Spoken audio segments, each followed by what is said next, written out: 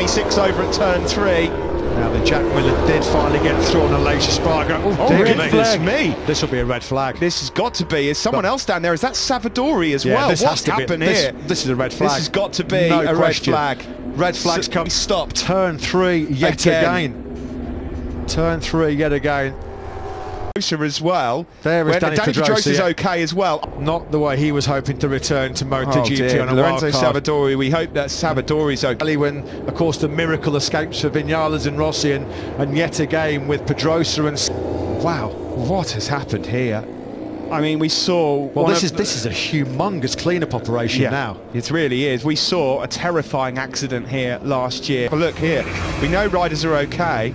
What has happened here? Oh no, Pedrosa's. Oh, so Pedrosa has, gone down. high-sided. His bike's in the middle of the circuit, and I think then Crikey. Savadori's clattered into it. Yeah, and he's just obviously ruptured fuel tanks everywhere.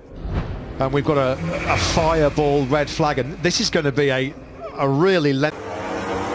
So there you see the crash. Oh my Oh. word!